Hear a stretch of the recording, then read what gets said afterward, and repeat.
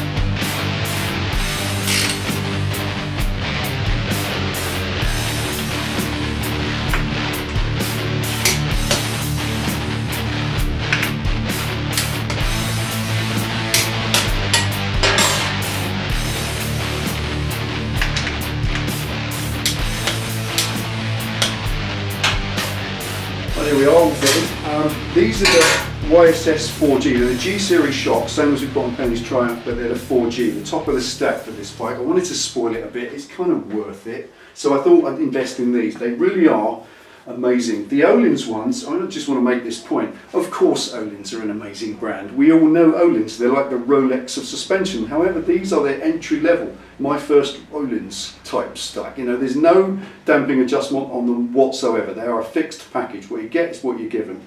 They have a little tiny step ring there. Can you see that, Pen? Mm-hmm. They're a little tiny step ring of adjustment which is what you get on a standard set of shocks on any bike and that's it nothing else and they're a bit tired and to be honest they weren't giving me what I wanted, which was the ability to stiffen up the rear suspension a great deal. This thing, when you launch it, it tends to squat on the back end on the power, and that makes it squirm a little when it's going fast down the road. I'm not sure about that. I want something I can stiffen up a little bit more, and these are amazing. You've got infinite adjustment there. I've got 70 mil of adjustable screw thread for this collar. You just screw that down, that's the preload on the spring. I've got compression damping in the, foot. I've got compression and rebound damping adjustment just on clicks on a collar just like you'd get on a pair of thousand pound Öhlins, but these are half the price. So they're well worth the money if that's what you want. If you want multi-adjustable shocks that you really are going to dial in and tune into what you want. And also, again, if I'm going to take Penny on the back and some luggage or whatever, then I can wind up preload on it and I can make them just a nice comfortable road shock. If I'm out playing silly beggars then I can make them set up for that too and all on a few clicks. There's a little dial on the back there with a screwdriver, that's your compression damping, the collar at the bottom is the rebound damping and it's multi-adjustable so you can set it up and dial it in exactly how you like. We've done this, I know I can trust these because I put them on Penny's Triumph and she's quite fussy on suspension. She wants the bike to be just so, and we managed after a few rides to set them up absolutely right. You can dial them in. You just take out the adjusters with you, which is this pin and this little screw Allen key. On the inside of the collar, it's got a little lock screw. You release it, pop that in there, and then you can turn that screw round as you need to to set the preload and then your little screwdriver, just do the damping. Ever so easy to live with and I think well worth the money. So they're a nice investment, bungalow's on for now. Now the last little job I've got to do is put the dump valve back on, but I want to show you what it is, what was wrong with it, and what it actually does, in case you don't know. Might be of interest, I'll show you what I mean. Right, okay, in amongst all the little jobs on this, I've got loads and loads of little tasks to perform. One of the reasons I haven't taken this out and given it a good pasting or video yet is because I'm not ready to do so. This bike's been sat for probably nine months in the guy's garage, it hadn't gone anywhere, he told me that, and I want to make sure that everything's still working okay and that there's nothing going to catch me out if I go out there and give it a pasting and then find something's break or something's seized or something's stuck and I end up with a bigger problem that's more expensive. It's just a safety thing, you know. And one of them that's really important is the safety of the boost system. A turbocharger is pretty pretty feisty. It's, it's got enough power quite easily to literally destroy your engine if the wastegate or the blow-off valve seize up. They are the two, the fail-safes on a turbo. The wastegate valve down the bottom, that vents excess pressure. It's not set on a certain PSI, this one's set on 5 PSI. When it reaches 5 pounds of boost, any more boost after that just vents out through a wastegate to atmosphere, just gone. So it's not boosting any higher than that.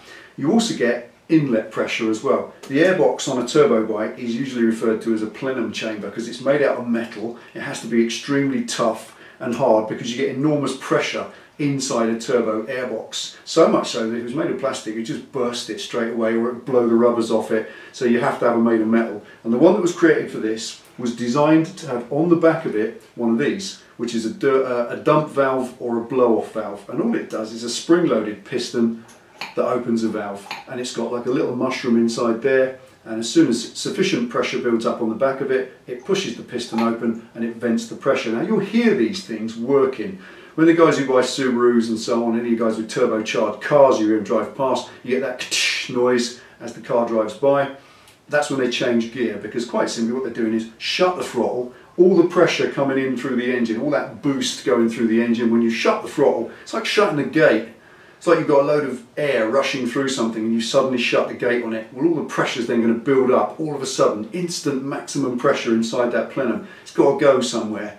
And if it's not allowed to vent, then it goes back down the inlet tube and it slows the turbo down. It can even stop it almost, and that can also damage it. So you have to have a, a safety valve on the air inlet side, and that's what it is. It's one of them. So that's all I had to do. I had to take that apart and grease it up, put it back on, working nicely now. This is an original Turbo Dynamics one, a good quality item. All of the stuff on this bike, I said at the beginning, is a really good quality kit. So all of this was built out of excellent quality parts. And the proof of that is that if this had been a Chinese dump valve and it was, what, 17 years old, it would have just been trashed by now and get another one. As it is, all I did was take it apart, clean it, put it back together. And that's a good reason to invest in quality parts if you're building a system like this. Anyway, I'm going to bung it back on and there's another little job knocked off of this.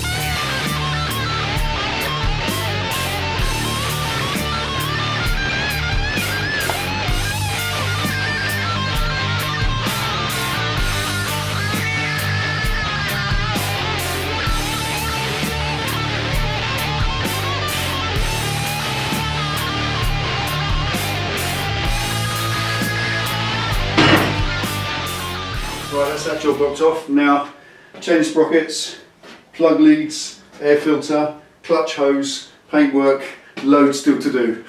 See you next time.